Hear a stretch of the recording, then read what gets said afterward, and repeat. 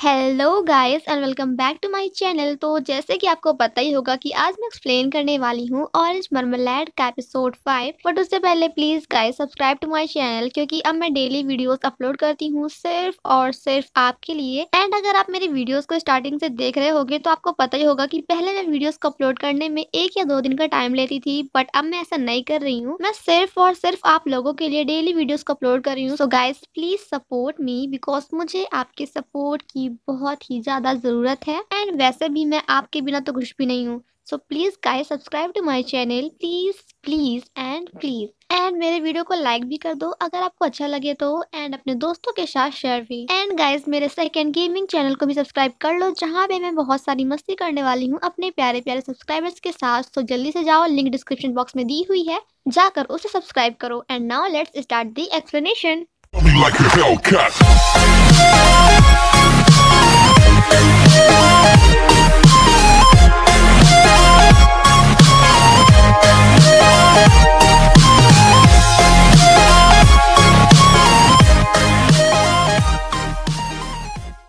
episode 5 life की शुरुआत seventeen century से होती है, जहाँ पे हम दो आदमियों को देखते हैं जो कि लेट नाइट जंगल को पार कर रहे होते हैं, तभी उनके सामने कुछ सैनिक आ जाते हैं एंड उन दोनों से पूछते हैं कि तुम लोग हो कौन और तुम दोनों रात को बॉर्डर क्रॉस क्यों कर रहे हो? आफ्टर दैट सैनिकों का हेड उन दोनों में से किसी एक के ऊपर तलवार चला देता है बट उसकी चोट दो मिनट के अंदर ही गायब हो जाती है। तो हेड अपने सैनिकों से कहता है कि ये लोग तो नॉर्मल इंसान नहीं है, बल्कि ये दोनों तो वैम्पायर हैं। आफ्टर दैट उन सभी के बीच में फाइट स्टार्ट होती है एंड यहाँ पे हमें पता चलता है कि ये वैम्पायर्स तो कुछ ज़्यादा ही डेंजरस हैं। ये ह्यूमन की तरह दिखते ज़रूर हैं बट ये ह्यूमन नहीं है, बल्कि ये तो ह्यूमन के भेस में मॉन्स्टर हैं। बट एट लास्ट वो सभी मिलकर एक वेम्पायर को एंड उसके सामान को पकड़ ही लेते हैं, जिसमें काफ़ी सारा गोल्ड होता है एंड एक लेटर होता है एंड उस लेटर को देखने के बाद उन्हें पता चलता है की इन वेम्पायर्स का प्लान था आठ राज्यों में आक्रमण करने का, ताकि ये लोग वहाँ पे राज कर सके, जिसके बाद उनमें से एक सैनिक ये बात जाकर कंट्री में सभी को बता देता है। देन हमें कुछ डेड बॉडीज दिखाई जाती हैं, जिनके नेक पे काटने का निशान होता है। देन हमें बैकग्राउंड से आवाज़ आती है कि आप सभी को मॉन्स्टर से बच के रहना है, जो कि अपना पेट भरने के लिए आपका खून पीते हैं।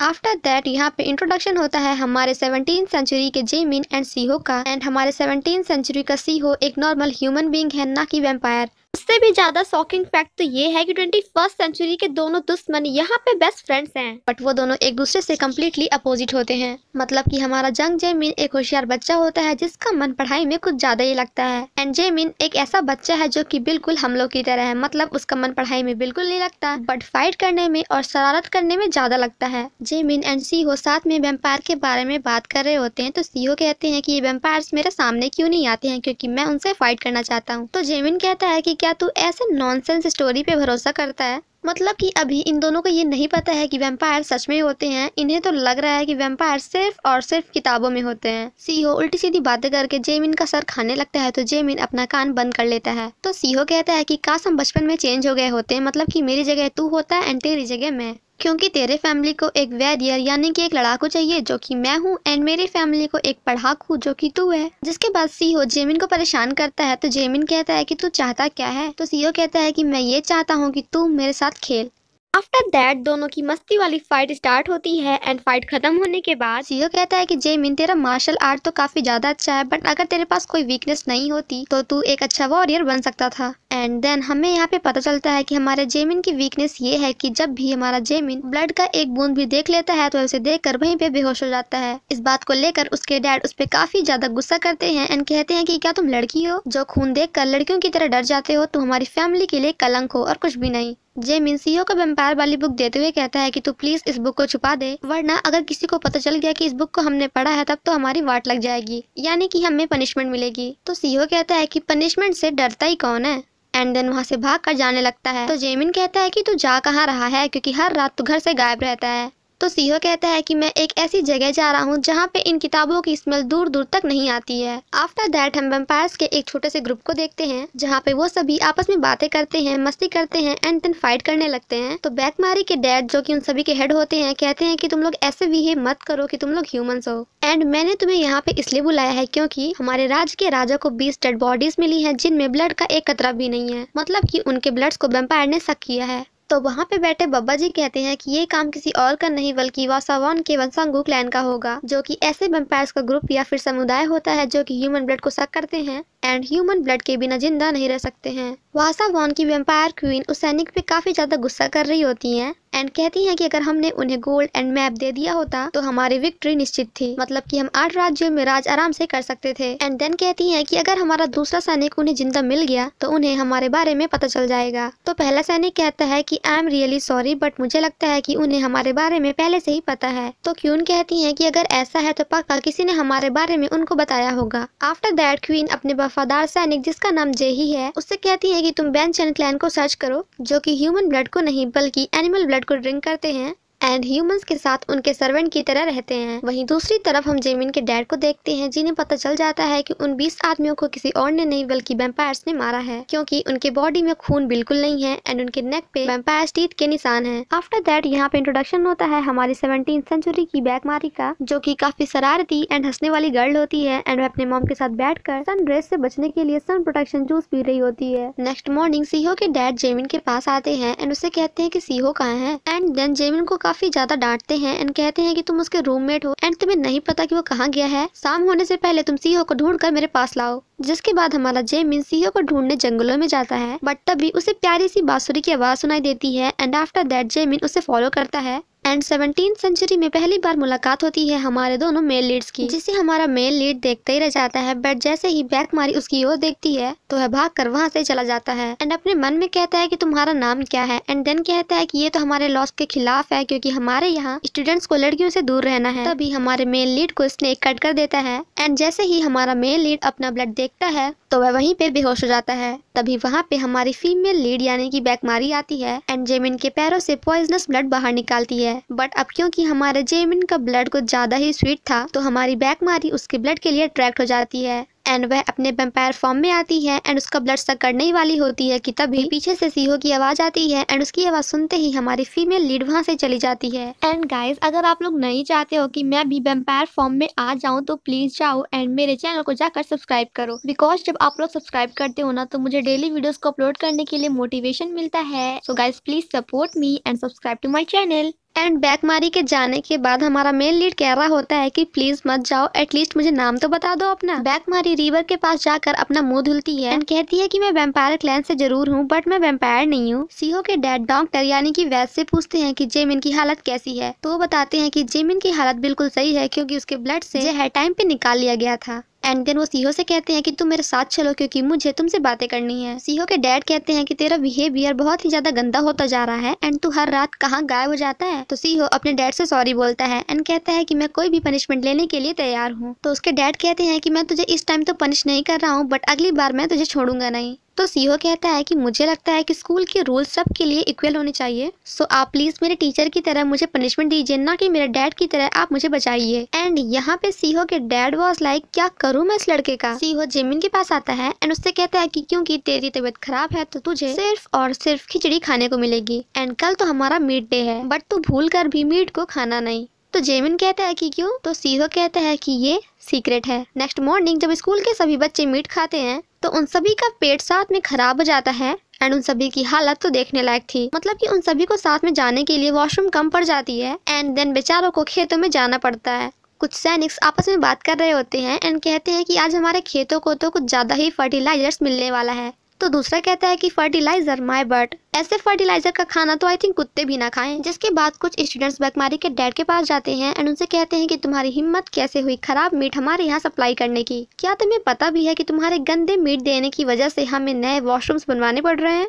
गाइस मैं मज़ाक कर रही थी। वो लोग ये कहते हैं कि क्या तुम्हें पता भी है कि हमारे क्लास के बच्चों की हालत क्या है? सिर्फ़ और सिर्फ़ तुम्हारा गंदा मीट खाने के कारण। बट बैकमारी के डैड उन्हें सॉरी बोल रहे होते हैं एंड कहते हैं कि मैंने कुछ भी नहीं किया है। आप मीट को जाकर वापस चेक कर सकते हैं क्योंकि हम डेली वही सेम मीट को सप्लाई करते हैं। जेमिन भी कहता है की आई थिंक ये अंकल सही कह रहे हैं, हमें एक बार चेकिंग कर लेनी चाहिए। बट वो सभी उसकी बात मानते नहीं है एंड बैकमारी के डैड को पकड़ लेते हैं। तभी वहाँ पे बैकमारी आती है एंड अपने डैड की हेल्प करने की कोशिश करती है। एंड बैकमारी को देखते ही हमारी जेमिन के दिल की घंटियाँ बजने लगती हैं। जेमिन अपने मन में कहता है कि तुम बुचर चरियाने की कसाई कैसे हो सकती हो? एंड तुम लोग चिकन को ज़िंदा ही काट देते हो। सेम नाइट पढ़ाई करते टाइम भी हमारा जेमिन सिर्फ़ और सिर्फ़ बैकमारी के बारे में सोच रहा होता है। एंड कहता है की तुम तो एक अच्छी लड़की नहीं हो, फिर भी मुझे ऐसा फील क्यों हो रहा है? एंड देन अपने आप को कंट्रोल करता है एंड कहता है कि जेमिन तुझे पढ़ाई पे ध्यान देना है, लड़की पे नहीं। वहीं दूसरी तरफ़ बैकमारी के घर में अगेन मीटिंग चल रही होती है, जहाँ पे वेम्पायर बब्बा जी कहते हैं कि, हमारे हेड को दस दिन की सजा हुई है बट हम वैम्पायर सिर्फ़ और सिर्फ़ चार दिनों तक ही धूप को सह सकते हैं, वो भी बिना ब्लड को कंज्यूम किए। तो बैकमारी की मॉम कहती है कि, आप लोग टेंशन मत लीजिए, क्योंकि मैं तीन दिनों के अंदर कोई ना कोई रास्ता बाहर निकाल लूँगी। एंड अगर मैं ऐसा नहीं कर पाई तो मैं ये रात छोड़कर यहाँ से बाहर चली जाऊँगी। सीहो जेमिन के पास जाता है तो जेमिन कहता है कि ये सारे काम तूने किए है ना? तो हमारा सीहो वॉज़ लाइक कौन से काम? तो जेमिन कहता है कि मीट में मेडिसिन तूने ही मिलाई थी ना? तो यहाँ पे फाइनली सीहो एक्सेप्ट कर लेता है कि ये सारे काम मैंने किए हैं ताकि उनका पेट साफ़ हो जाए, क्योंकि वो लोग तो पढ़ाई में कुछ ज़्यादा ही बिज़ी थे। एंड उनका मन साफ़ सफ़ाई में तो लगता नहीं तो मैंने उन्हें पूरा अंदर से लेके बाहर तक साफ़ कर दिया। एंड काफ़ी स्माइल करता है। तो जेमिन उस पर काफ़ी ज़्यादा गुस्सा करता है एंड कहता है कि सिर्फ़ और सिर्फ़ तेरे मज़ाक के कारण एक नॉर्मल एंड भोले भाले इंसान को पनिशमेंट मिल रही है। तो सीहो कहता है कि यार प्लीज़ तो बस भी कर। तभी जेमिन उसके चेस्ट पे चोट का निशान देखता है एंड कहता है कि ये क्या है? तो सीहो कहता है कि ये ये तो कुछ भी नहीं है। तो जेमिन कहता है कि यार, मुझे तो समझ ही नहीं आ रहा कि आजकल तू कर क्या रहा है। तू प्लीज़ अपनी पढ़ाई पे ध्यान दे एग्ज़ाम पे फोकस कर, वरना इस तरह तो तू पास ही नहीं हो पाएगा। तो सीहो कहता है कि अगर मैंने सोच लिया कि मुझे पास होना है, तब तो मैं पास होकर ही रहूँगा। बट मैं वो करना नहीं चाहता हूँ, मैं तो वो करना चाहता हूँ जो मुझे पसंद है। वहीं दूसरी तरफ़ हम बैकमारी को देखते हैं, जो कि अपने डैड के लिए सन प्रोटेक्शन जूस लाती है। बट उसे पिलाने से पहले सैनिक उसे देख लेते हैं एंड उसे भी पकड़ लेते हैं। तभी वहाँ पे जेमिन आता है एंड उनकी हेल्प करता है एंड कहता है कि तुम प्लीज़ इन्हें छोड़ दो। तो वहाँ के सैनिक कहते हैं कि बिना प्रॉपर परमिशन के हम तो तुम्हें भी ना छोड़े तो फिर ये कौन है? तो जेमिन कहता है कि तुम प्लीज़ इन्हें छोड़ दो, क्योंकि ये सारे काम मैंने किए हैं। एंड कल मैं सभी के सामने ये बात एक्सेप्ट कर लूँगा। एंड यहाँ पे हमारे मारी के दिल में भी जेमिन के लिए घंटी बजी जाती है। फाइनली नेक्स्ट मॉर्निंग जेमिन सब कुछ एक्सेप्ट कर लेता है एंड कहता है की वो सारे काम मैंने ही किए हैं। वहीं दूसरी तरफ़ सीहो भी इस बात को एक्सेप्ट कर लेता है एंड कहता है कि ये सारे काम मैंने किए हैं। तो दोनों को साथ में पनिशमेंट मिलती है एंड उन्हें स्कूल से दो महीने के लिए बाहर कर दिया जाता है। एंड ये सुनने के बाद तो हमारा जेमिन काफ़ी उदास था बट हमारा सीहो तो उतना ही ज़्यादा खुश था। एंड अब क्योंकि हमारा जेमिन सीहो से कुछ ज़्यादा ही गुस्सा होता है तो वह उसे इग्नोर करके डायरेक्टली अपने घर आता है, जहाँ पे उसकी मोम उसका वेलकम करती है। बट उसके पीछे पीछे सीहो भी वहीं पहुँच जाता है एंड उसकी मॉम उसका भी वेलकम करती हैं। तो सीहो कहता है कि प्लीज़ मॉम आप इस अनवेलकम्ड गेस्ट को बोलिए कि ये यहाँ से बाहर चला जाए। बट सीहो कहता है कि आंटी मैं यहीं पे रहने वाला हूँ क्योंकि मुझे स्कूल से बाहर निकाल दिया गया है। तो जेमिन की मॉम कहती है कि, क्या तुम दोनों को बाहर निकाल दिया गया? तो सीहो कहता है कि, नहीं आंटी सिर्फ़ और सिर्फ़ मुझे। बट प्लीज़ आप मेरे मॉम एंड डैड को मत बताइएगा कि मैं आपके यहाँ हूँ। वरना मैं तो गया। आफ्टर दैट यहाँ पे इंट्रोडक्शन होता है हमारे जो आरा का, जो की एक हायर ऑफिसर की बेटी होती है। एंड जेमिन के डैड जो आरा को पहली बार देखते ही उसे अपने घर की बहू बनाने के बारे में सोचते हैं। वहीं दूसरी तरफ़ हमारे जेमिन का मन पढ़ाई में नहीं लग रहा होता है एंड वह बार बार बैकमारी के बारे में सोच रहा होता है। तभी एक लेडी जेमिन की मॉम को आकर बताती है की जेमिन को रॉ मीट खाना है। एंड ये सुनकर उसकी मोम बिल्कुल शॉक्ड हो जाती हैं। एंड कहती हैं कि उसने तो कच्चा मीट बचपन से लेकर आज तक कभी नहीं खाया। तो वो लेडी कहती है कि शायद उनका टेस्ट अब चेंज हो गया हो, क्योंकि उन्होंने कहा कि वो खुद जाकर मार्केट से ला लेंगे। अब बेचारा हमारा जेमिन डायरेक्टली क्या बोलता कि मैं मीट लेने के बहाने बैकमारी को देखने जा रहा हूँ। जेमिन जब बैकमारी के डैड की शॉप पहुँचता है तो उसकी आँखें चिकन पे कम होती हैं, बल्कि बैकमारी को ज़्यादा ढूंढ रही होती हैं। घर जाने के बाद जेमिन की मोम उसके सामने मीट रखती है तो जेमिन कहता है की क्या प्लीज़ आप मुझे थोड़ा सा चावल दे देंगी? एंड जैसे ही उसकी मोम चावल लेने जाती है तो जेमिन को चिकन देखकर उल्टियाँ आने लगती है तो वह भागकर बाहर आता है एंड सारा का सारा खाना अपने कुत्ते को खिला देता है एंड कहता है कि तू प्लीज़ इसे जल्दी से खा ले। तभी वहाँ पे जेमिन की मॉम आती है एंड कहती है कि तू यहाँ पे कर क्या रहा है? तो वह अपने खाने पे ही बैठ जाता है एंड कहता है कि मैं तो यहाँ अपने डॉग को देखने आया हूँ। आफ्टर दैट जेमिन अपने कपड़े को लेकर जंगल की ओर जाता है जहाँ पे अगेन उसे बैकमारी दिखती है एंड अगेन हमारा जेमिन उसे देखने लग जाता है। एंड उसके पास जाकर कहता है कि मुझे कपड़े धुलने के लिए पानी कहाँ मिलेगा? एंड देन कहता है कि सिर्फ़ और सिर्फ़ तुम्हारे कारण मेरा ड्रेस खराब हुआ है। सो अब तो इसे क्लीन भी तुम्हें ही करना पड़ेगा। एंड बेचारी हमारी सीधी साधी बैक मारी, उसका ड्रेस ले जाकर पानी में धुलने लगती है। एंड जैसे ही हमारे बैक मारी का हाथ हमारे जेमिन के हैंड में टच होता है तो उसकी तो दिल की धड़कनें रुक जाती हैं। आफ्टर दैट जेमिन हमारे बैक मारी का हाथ पकड़ता है बट सिर्फ़ और सिर्फ़ सपनों में। रियल में तो वो अपना हाथ ऊपर करके आराम से बैठ जाता है। मतलब कितना ज़्यादा डरपोक है यार हमारा जेमिन बैक मारी जेमिन से कहती है कि मेरे डैड को एंड मुझे बचाने के लिए तुम्हारा थैंक यू सो मच तो जेमिन कहता है कि तूने भी तो हेल्प की थी ना मेरी जब मुझे स्नेक ने काट दिया था सो बराबर हो गया। एंड मुझे ये बता कि तू दिन भर पत्थरों पे बैठकर ऊपर क्या देखती रहती है? तो बैकमारी कहती है कि मैं तो आसमान में तारे देखती हूँ, तू भी देखा कर, बहुत मज़ा आता है। तो जेमिन कहता है कि पागल लड़की, तू दिन में स्टार्स कैसे देख सकती है?